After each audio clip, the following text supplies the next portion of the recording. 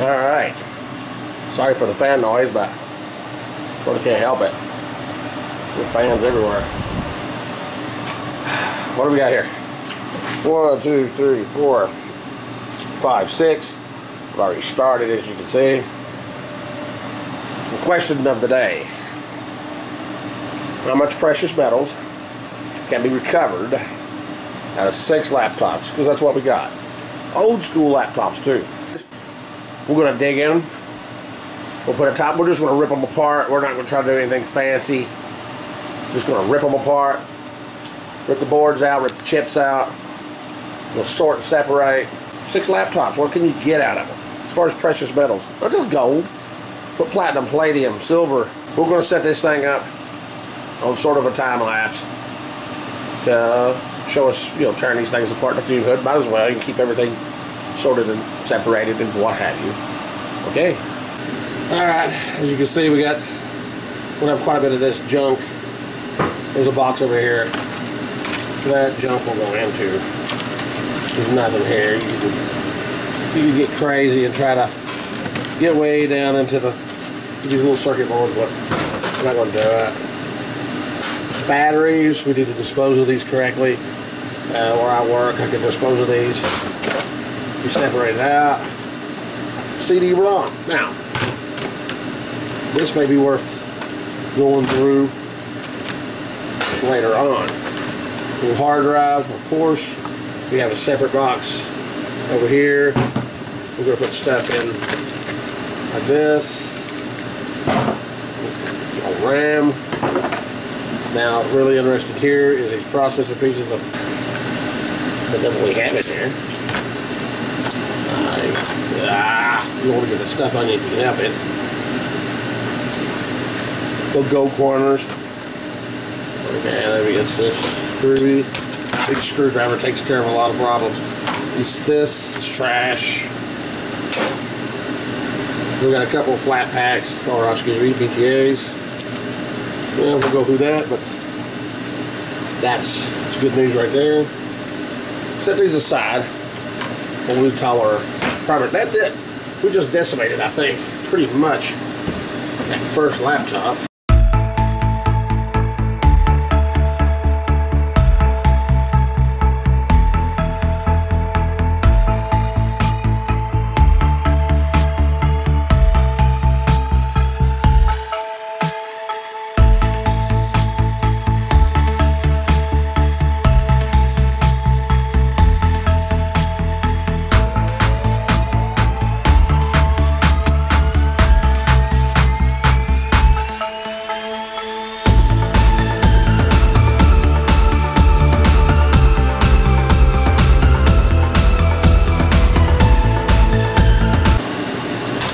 These screens, I've heard that there's precious metals in these screens itself. I don't, I don't know if that's true or not. I don't give a crap, so we're moving on. Old school, old school bus chips.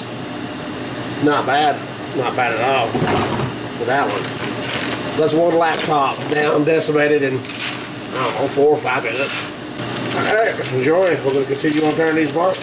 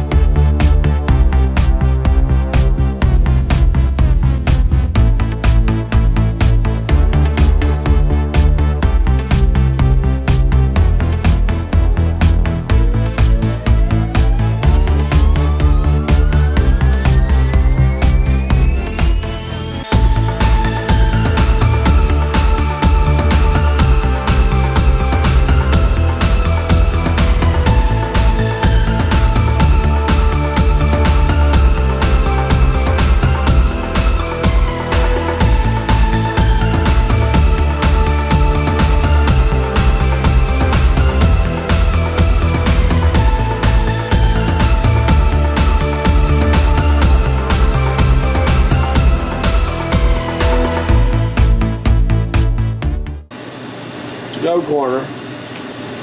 Yeah, that's what it might have been. All right, wow. Okay. we're in a good scrap pile.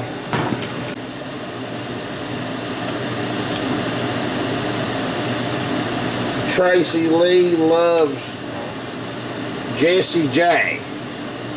What's written on the bottom. Hillbilly right there. I love it.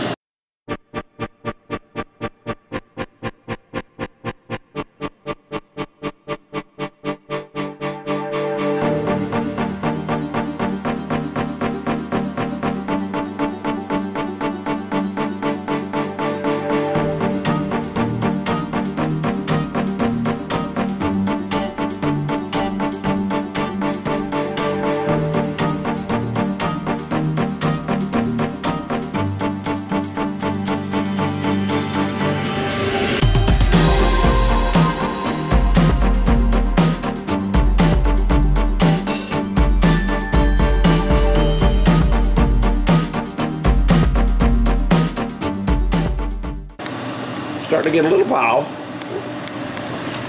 Full of uh, good circuit board material. We'll do one more tonight. Then we'll continue it tomorrow. Yes, I am pro law enforcement. The old Kentucky Vehicle Enforcement logo eh, don't exist anymore. Okay, we're back for day two of the uh, laptop precious metal recovery we tore apart three yesterday. That took us about an hour. You know, not bad. Not too good, but not bad. These are low to mid-grade chips. Might be a mid-grade one, mid-grade in there. Plus, you know, ram sticks. All BGA so far. So far. Well, there it is. There's what we'll call our high grades. Which is really not, you know, got a few IC, got a few ICs. Good. We have a pile of boards that, small boards that have visible gold on them. Okay, which is uh, decent. We have a pile of motherboards, which is gold, silver, palladium, Okay, we'll process for that. All right, we're gonna tear it out.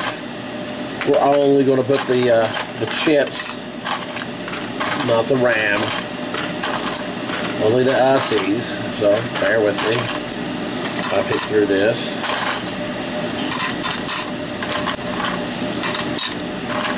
So out of six laptops, you know, what have we harvested? What's the weight? We got 84 0.22 grams worth of IC chips. Okay? A pile of RAM here.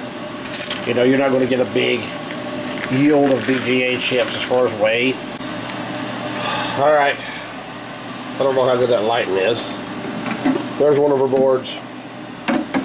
We'll show you how I extract and get all the components off these boards. Now I'm going to try to film this. I don't know how the heck I'm going to pull it off, but We'll be right back. I'm going to show you how to use this and this to retrieve more uh, precious metal components. We'll be back. Alright, what you want to get is a tote of some sort. I usually have them angled like this.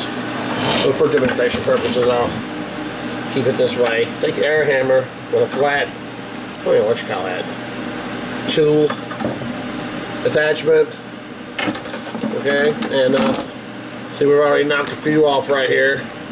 Just practicing. So we got this flat back off. So now you just hold it firmly.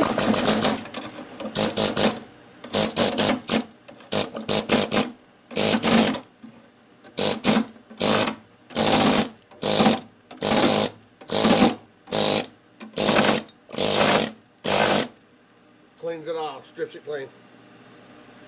That's it. That's all you gotta do. These big chips right here, let's see. Let go. How about chip?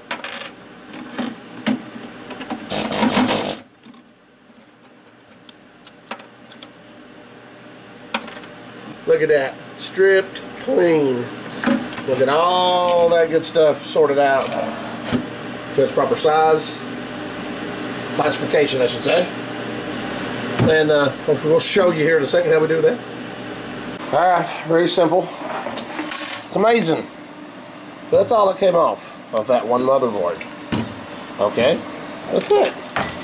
You figured there'd be a lot more. We don't have the vibrator hooked up, but oh, empty. And just agitate it. Down below, you have your the capacitors, resistors, and some and some chips. So we're going to further process this, and we'll uh, we'll show you what we got. All right. All we have is dirt. That's it. Just gummy dirt. Coarse, mid, fine. That's it. Flour sifter, colander, and an old beef jerky rack. Okay? You can very easily spend two or three hundred dollars buying sieves or sieves or whatever. But it does the job. So you got your dirt out. Sorry for the lighting, but pile of dirt, tin, solder balls. We got our bigs, chips, our mids, chips capacitors, mostly. And your small, chips capacitors, resistors. So, not at all too bad. Okay, probably two and a half hours straight work. Six laptops scrapped. These is only the E scrap. Okay? That's pretty good little load, actually. Now, how much precious metals are in, you know, uh, this batch? Well, it's hard to say. Not much. Probably not much. You might get a little bit out of that batch of chips. We still have those raw boards. 90% depopulated, each one of them. No sorting has been going through for copper parts. It stays as is. That's just uh, mid-grade parts. It appears to be gold plate. This appears to be a gold foil. Visible gold. There's a few BGA chips. And a lot of BGA chips. And there's a couple of flat packers in there. We're going to see. I'm chewing this chewing gum to apologize for that, but it is what it is. Let's see what we get on Sleaze Bang. You may get twice as much for it than the precious metals that's in it. You know, it's about making money. It's about scrapping and e-scrapping and making money. Not necessarily how much how much precious metals can you get. If that was the case, then we would just process it and ride. And we may still do it. All right, that's six laptops. That's not a bad haul. I figured it would be more. That is useful, you know, e-scrap for precious metals. That's what people want. All right, that's what we got. Check it out on eBay. We'll have a part two, and we'll track its progress. Bye now.